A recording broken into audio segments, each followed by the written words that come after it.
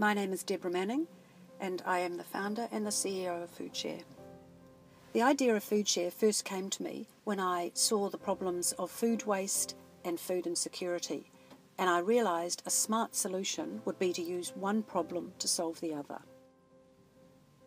My job is to work with the board and Pip, my manager, to implement the strategies and policies and procedures that we've put in place the staff on the ground here at FoodShare headquarters to make sure that everything runs smoothly.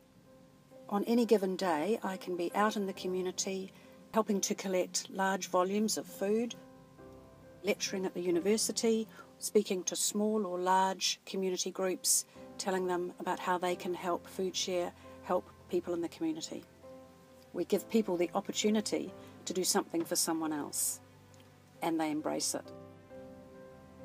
Time that has really stood in my memory as being pivotal to Food FoodShare's growth was when, in our very early days, I was operating out of my garage using my car to collect the food, and I was offered a ton of onions.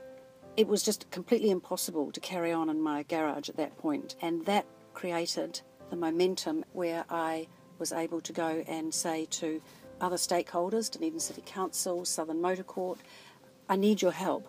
It's going to work. I just can't do it on my own anymore.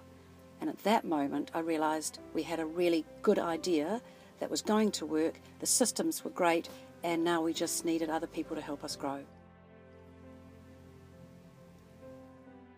Food is a connector and it brings people together. Everybody in the community, no matter whether they're a food donor or somebody who's receiving food, they'll get the benefit from the service that we offer. We never call the food that's given to us waste because it isn't. The minute it comes to us, it's a meal, it's dignity, it's respect, it's love. That's the way we do it here at FoodShare.